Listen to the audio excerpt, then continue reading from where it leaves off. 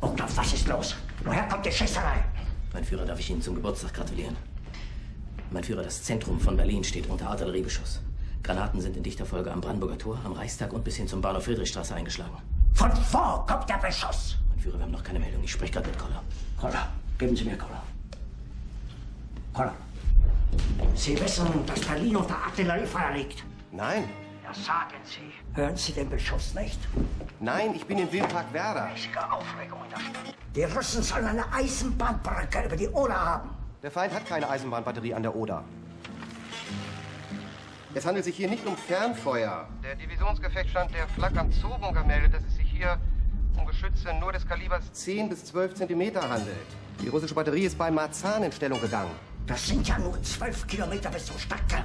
Ist der Russe schon so nah?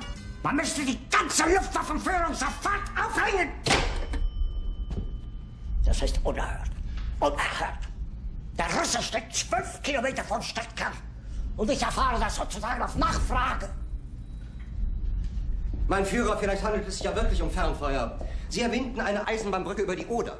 Ach, Unsinn.